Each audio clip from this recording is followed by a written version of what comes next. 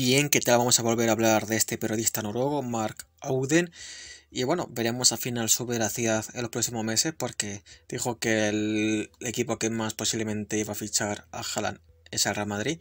Y ahora dice que aparte de asegurar lo de Haaland, dice que también asegura el fichaje de Mbappé por el Real Madrid. Lo va a fichar como agente libre en verano a pesar de la existencia del PSG.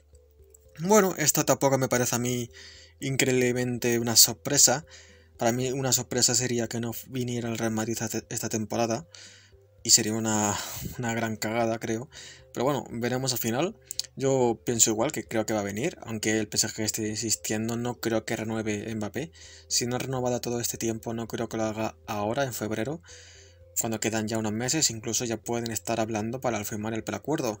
Es verdad que lo de la eliminatoria Real Madrid-PSG retrasa un poco todo esto, pero vamos, igualmente yo creo que lo tenemos bastante bien hecho, así que bueno, exclusiva, pues tampoco me parece una gran exclusiva, ¿no? Sinceramente, porque creo que sería lo más normal. Repito, luego ver qué pasa. A lo mejor te da la sorpresa y se queda en el PSG por el motivo que sea. Entonces ahí ya te llevas las manos a la cabeza.